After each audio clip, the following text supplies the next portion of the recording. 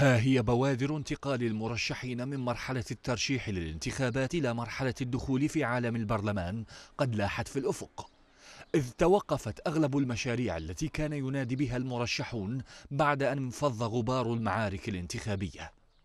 أهالي محافظة ديالة أكدوا أن الوعود التي كانت تتهافت عليهم من قبل المرشحين للبرلمان اختفت بعد إعلان النتائج. انتخبناهم.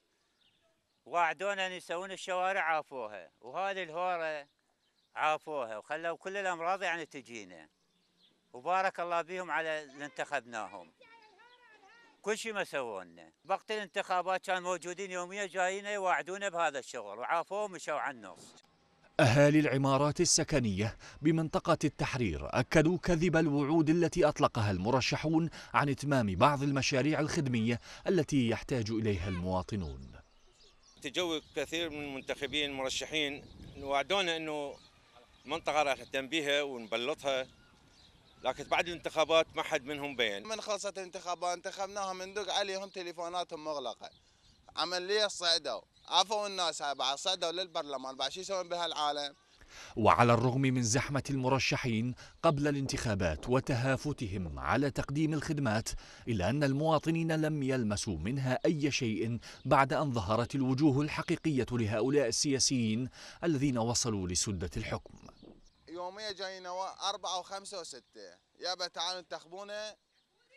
تعالوا انتخبونا في سبيل شنو؟ حتى نجي نبلط لكم الشارع نجي نسوي لكم مجاري نجي نسوي لكم هاي الخدمات اللي طايفة قدام العالم.